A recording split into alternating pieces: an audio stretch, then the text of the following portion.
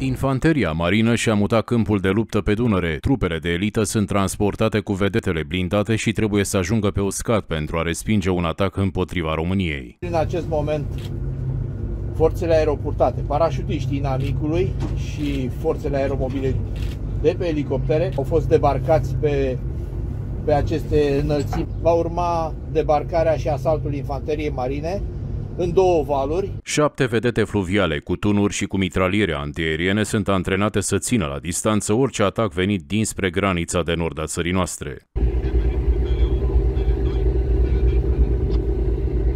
Foc! Misiunea navelor militare este să întârzie cât pot de mult atacul inamic până la intrarea în lupta infanteriei. Marina fluvială este prima care intră în luptă cu avioanele și cu elicopterele sale.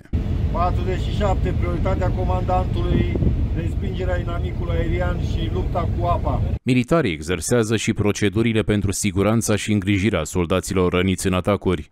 Rănit în sector Puntea Centru, sanitarul să intervină. Sarcina navei a fost preluată de altă navă, iar vedeta blindată și-a dus lupta cu apa și lupta cu focul, a remediat defecțiunile, a evacuat rănitul. Toate antrenamentele, toate exercițiile, toate misiunile și operațiile la care participăm sunt foarte importante pentru consolidarea și dezvoltarea de militarilor din forțele navale române Obiectivul principal al exercițiilor este consolidarea deprinderilor militarilor pentru executarea acțiunilor tactice de contracarare a unui desant aeromobil în condițiile amenințărilor de tip hibrid și cu riscuri de atac bacteriologic sau radionuclear.